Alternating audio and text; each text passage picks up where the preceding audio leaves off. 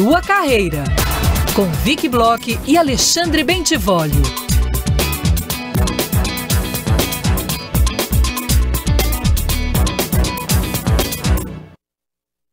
Vic, Natal é período também de reflexão e nesse ano de tantas transformações, qual tipo de balanço a gente pode fazer desse ano do ponto de vista do trabalho?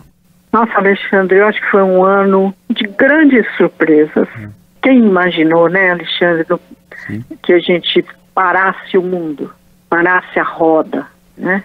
Acho que essa é uma reflexão que a gente precisa fazer todos os dias e não tomar isso como uma coisa que já foi.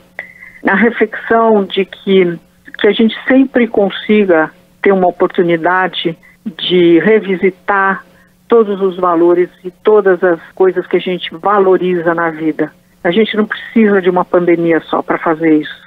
A outra é, vamos olhar o copo cheio, vamos olhar as oportunidades que virão a partir dessa terrível experiência que a gente teve, né? O que, é que a gente agora tem pela frente para fazer de novo, que vai dar a nós um enorme prazer.